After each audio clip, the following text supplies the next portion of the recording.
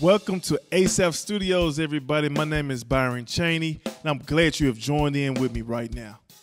Hey, I'm excited about this new cymbal company, Diril Cymbals. I'm so glad to be a part of the family now, and I just want you to check out the new cymbals. Let me go down my list for you. So let me start on my hi hats. Uh, right now, I'm using actually some 16 inch hi hats. This is the Genera brand by Diril Cymbals. They are nice and dry hi hats. I love them. Uh, to my far left, I'm using, I'm going to start with an 18 inch Raw Bell Crash. Uh, next to that, I have the 19 inch Raw Bell Crash.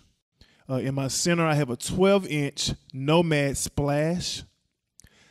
My ride that I'm using is the 21 inch Nomad Ride. And last but not least, I have a Nomad Crash. This is a 19 inch. I want you to check these out.